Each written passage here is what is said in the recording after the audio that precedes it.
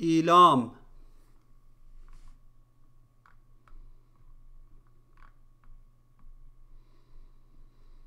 ایلام یکی از شهرهای غربی ایران و مرکز استان ایلام است.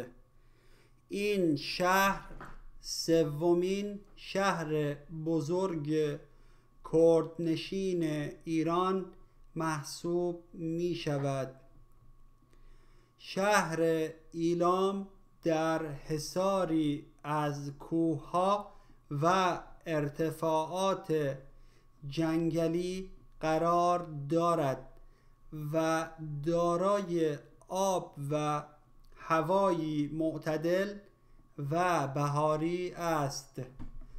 زبان اهالی شهر ایلام کردی ایلامی است.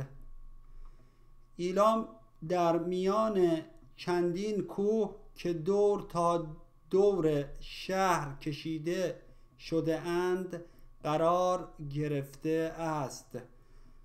از آنجایی که تپه زیبا و طبیعی شاهد و دره زیبای ارغوان در میان این کوه ها قرار داشت غلام رضاخان والی در زمان قاجار بر آن شد تا قلعه والی را در میان آن کوه ها بسازد.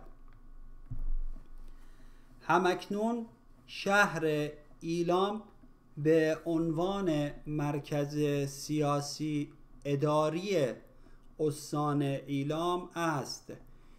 این شهر از شهرهای توسعه یافته باختر کشور ایران می باشد و به خاطر دارا بودن تفریحگاهی جنگلی و آثار تاریخی متعدد از زیباترین شهرهای استان ایلام به شمار می رود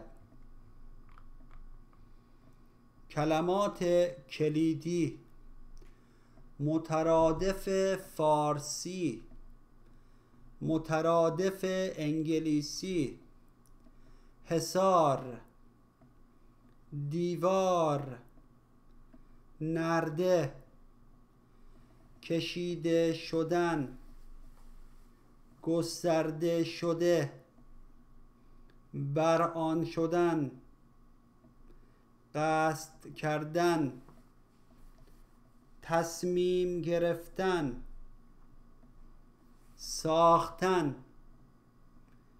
ایجاد کردن توسعه یافتن. پیشرفت کردن. سیاسی اداری.